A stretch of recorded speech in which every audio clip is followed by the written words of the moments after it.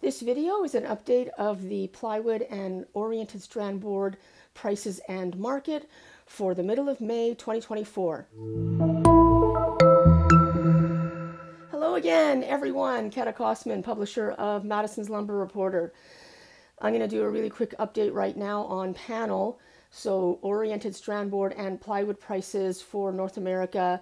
Here we are. It's uh, May 10th, 2024, and it's been quite the roller coaster for the plywood and OSB prices that had increased in the past month, uh, supposedly in advance of building season or uh, whatever reason that was, and now coming back down, which isn't the normal time of year for these construction framing prices to be dropping, but could indicate that those asking prices of four weeks ago were too high, was above what the market could bear.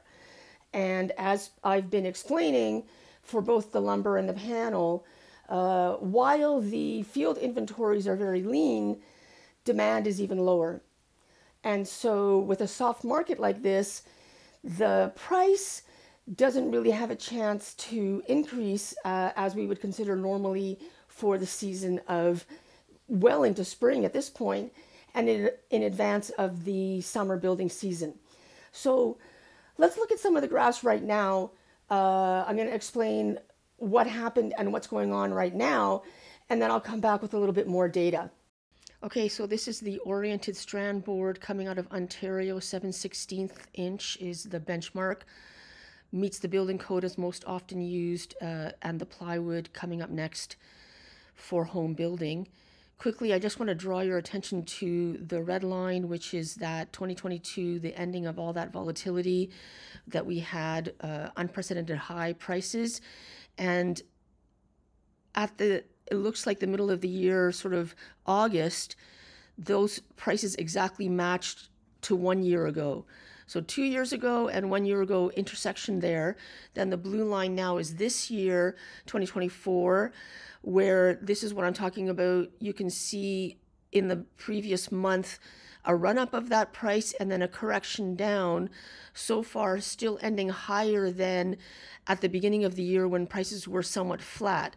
So this OSB currently is Canadian $590 per thousand square feet, which is down 11% or $70 from the previous week when it was 660 and is down 21% or $155 from one month ago when it was 745. However, it's up 42% or $175 from the same week one year ago when it was $415. And then this one is Canadian softwood plywood out of Toronto, 9.5 millimeters or 3 eighths inch. Again, the standard for construction framing if people choose plywood over OSB. You can see how these graph trend lines are quite a bit different from the dimension lumber that I was showing you. And once again, we have the intersection of around August uh, last year with the previous year of those prices matching up the blue line once again this year, as you can see, rising up and actually looks like corrected approximately to where it was prior to that increase. And so what we have with this item is the current price, Canadian $610 per thousand square feet, down 10% or $65 from the previous week when it was 675 down 19% or $143 from one month ago when it was 753 and down 3% or $21 from the same week one year ago when it was 631. So this price is coming close to where it was one year ago. Potentially, is it the end of this downward trend that we see now for the past few weeks, or will it fall further? That's why subscribers to Madison's are able to see on the dashboard every week when the prices come out instead of having to wait for me to make a video or post on the website. Okay, so I hope that explained something, at least uh, the last month, and then maybe where we are right now. It doesn't really necessarily give an indication of what's going to happen coming up. Uh, I would say the prices will flatten at where they are right now, given everything else that's going on in the market. But that doesn't mean that that's what's going to happen. So here are some of the things that we do know. We do know that Canadian lumber manufacturing for full year 2023 was down 6% compared to 2022. The US was really quite flat. It was like 1.5% difference. The sawmill capacity utilization rates in Canada were still low compared to previously and definitely compared to what is optimal for the Canadian mills. And we know what's happening with the housing starts as that data comes out from census, and we post that on Madison's every month in relation to the lumber prices so people can see how those trend lines move together. Uh, I just got the latest update from the Western Wood Products Association. They're out of Portland, Oregon. They do a newsletter called Lumber Track, comes out every month. It is on a lag. So what we have for February of 2024 is the lines are crossing over that US lumber manufacturing dropped and Canada increased. Now Canada had really been low as I was explaining. And the same thing with the utilization rates.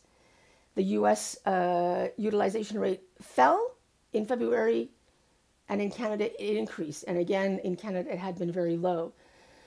If you watched my previous video just now about the lumber prices, that southern pine seems like perhaps industry manufacturing ramped up a little bit too much in the last few months more than the market could bear, charged a little bit higher for that item, and now that correction down is more steep than the rise had been and that and is more steep than the correction down in Canada, if that makes sense.